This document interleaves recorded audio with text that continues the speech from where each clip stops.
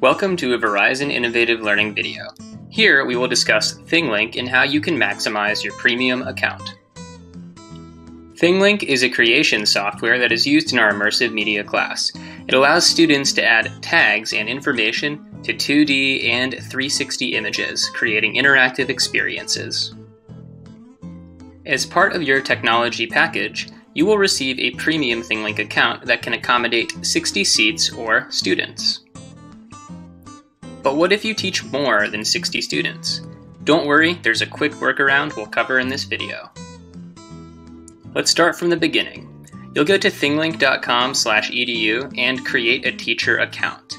You'll enter an email address, your name, and make sure to choose the teacher option. Finally, enter your school information.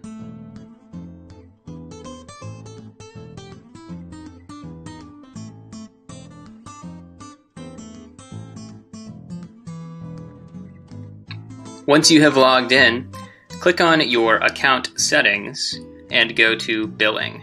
Here, you can enter your upgrade code that you have received from Verizon Innovative Learning. This will allow you to invite up to 60 students to the class. To allow for more than 60 students to use your class, we can create a group and have students double up on accounts. Simply go to My Students, Groups, and then enter the group name you'd like to create. Next, select Add Users next to your group. Then choose Manual Creation. Here, you will come up with up to 60 different usernames you want to use. I kept it simple and named them Student 1, Student 2, Student 3, and Student 4. Remember, you can enter up to 60 different account names here.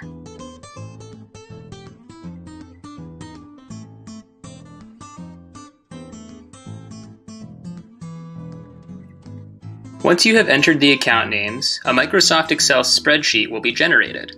Here, ThingLink has created login IDs and passwords for each of those account names you entered.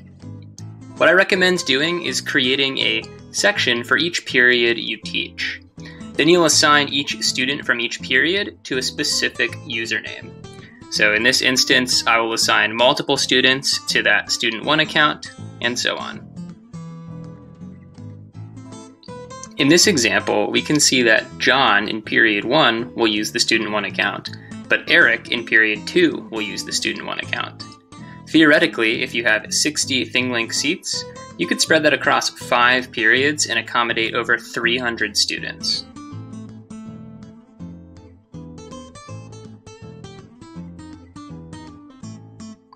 As with most technology, students might forget their password.